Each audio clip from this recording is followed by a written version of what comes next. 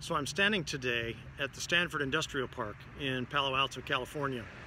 This is a place that the historian Kevin Starr refers to as the epicenter of the Silicon Valley. Established in 1951 as a joint venture between Stanford University and Palo Alto, California,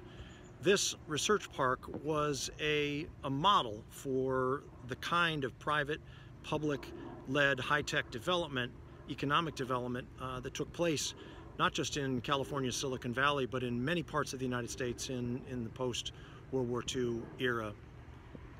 This was the brainchild of Stanford University Dean of Engineering and Provost Frederick Terman. Uh, it was Terman's vision to try to marry the commercial and economic possibilities of the new electronics sector in California with academic research uh, and to put Stanford University at the center of that, uh, of that partnership.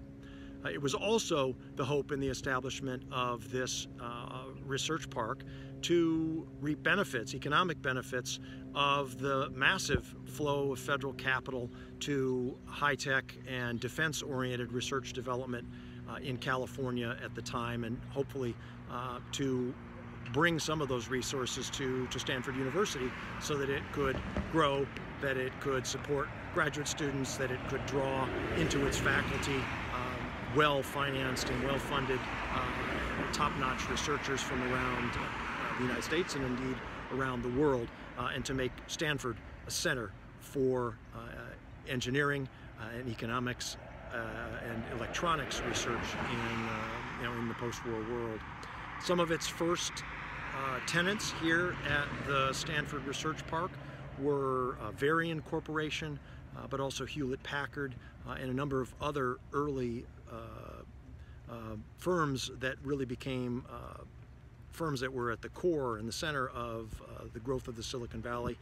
in, you know, in the 1950s and into the 1960s. Today, the Stanford Research Park, as it's known today, uh, is home to Ford Research Labs, to Lockheed Martin, to Lyft, to Tesla, uh, and still to Hewlett Packard, which was one of its uh, one of its first tenants and, and, and one of the uh,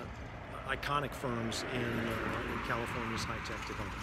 So here we are today, uh, just adjacent to the campus of Stanford University in Palo, Calo, Palo Alto, California, the Stanford Industrial Park, established in 1951, the epicenter of the Silicon Valley.